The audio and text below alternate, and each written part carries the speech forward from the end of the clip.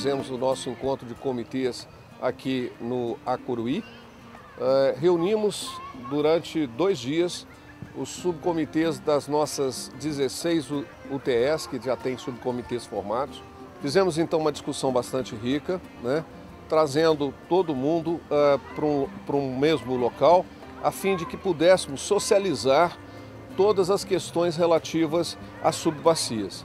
E foi muito importante porque nós tivemos um depoimento muito rico de cada UTE, mostrando como os subcomitês estão vendo os seus problemas, como eles estão atuando, o esforço que todos estão fazendo para que efetivamente esses subcomitês sejam a voz de cada rio, né? de cada afluente do Velhas.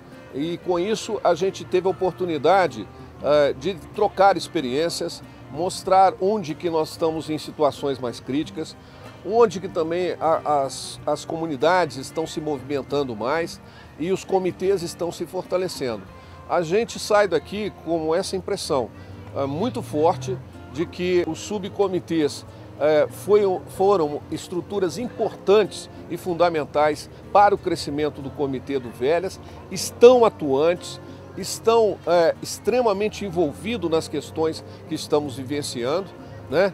É, e a gente teve o tempo todo uma participação muito uh, assídua de todos os membros, discutindo o novo plano diretor de bacia, uh, mostrando a intenção de todos de realmente tornar esse plano um plano de rumo, de metas, uh, de norteador mesmo das ações que temos que fazer para revitalizar essa bacia.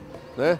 É, ficou muito claro também a, a discussão sobre autonomia, no sentido de que temos que criar cada vez mais para os comitês, os subcomitês, melhor dizendo, essa, é, essa ideia de crescimento sustentável e de capacidade de se autogerirem, capacidade de se autoalimentarem com as suas questões e, com isso, ajudar a fazer o comitê crescer no seu debate.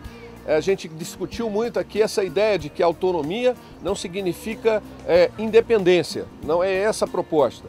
A proposta é que a autonomia gere, é, ao contrário, a diversidade, a capacidade de que a gente tenha é, todos os olhares possíveis sobre a bacia e isso nos ajude, ao contrário da dispersão, construir a unidade. A nossa unidade se constrói na diversidade, no entendimento de que somos um só corpo, mas com vários, uh, vários entes, uh, componentes desse corpo e cada um tem que se expressar tem que expressar aquilo que está vivendo e tornar cada vez o comitê a força maior de entendimento é, e de trabalho pela revitalização da bacia do Rio das Velhas.